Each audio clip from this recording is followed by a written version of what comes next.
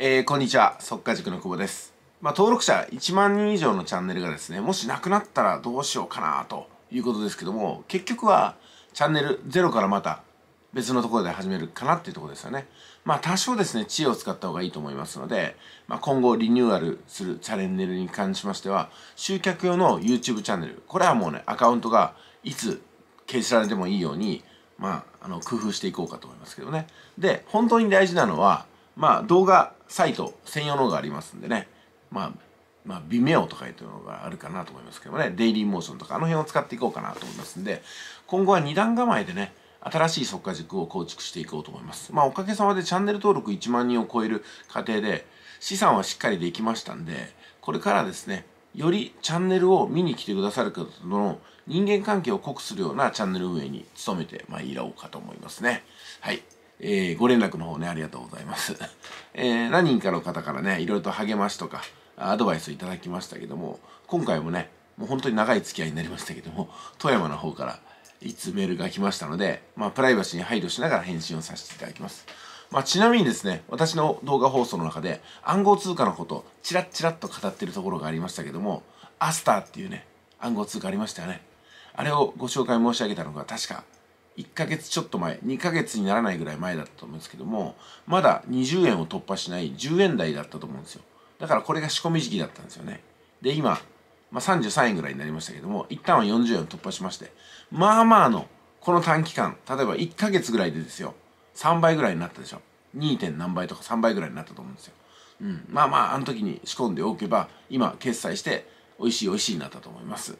まあ、決済する金額にもよりますけどね。まあ、あんな感じでね、これから、まあ、10倍、20倍、100倍っていうのはさすがにないですけども、短期間で、やっぱり3倍、5倍なら十分ありますんで、その辺、情報を精査して、これがいいんじゃないの？みたいな情報もたまに流していこうかと思います。ただ、責任が取れませんので、希望される方とかね、覚悟をされた方だけにもったいぶりながらお知らせすることになります。今後も速化塾の暗号通貨情報に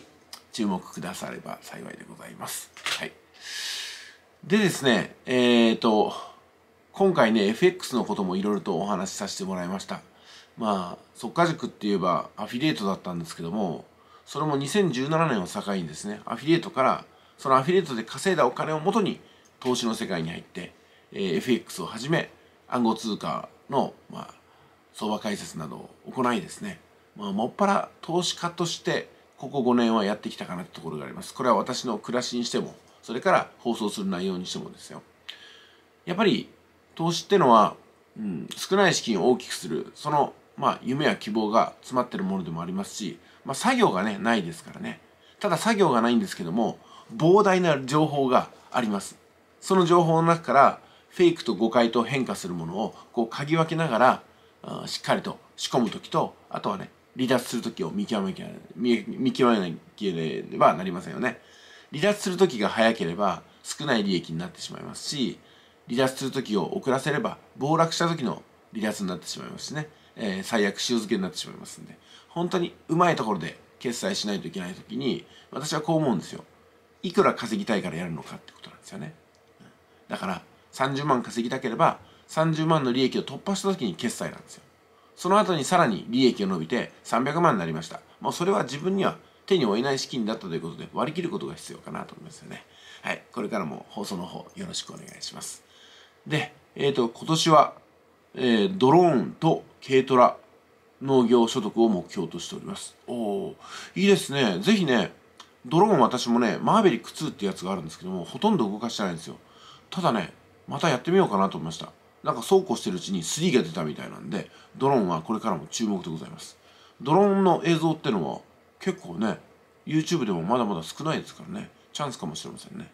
えそして農業ですね。軽トラ農業。これもね、農業をテーマにした動画ってのは、今農業従事者の方が結構ご高齢でいらっしゃいますんであの少ないんですよね、まあ、ですんで農業で YouTube 配信。これもなかなか面白いんではないかなと思いますね、うん、はい。であとマイカーですよね。車のコンテンツもこれからもどんどん出していきたいんですけども。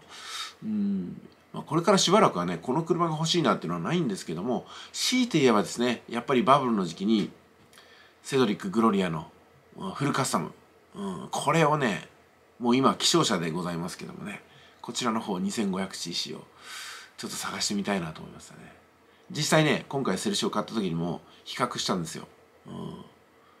まあけど完全にちょっとね訳あり車ですからね。訳ありっていうのは要するに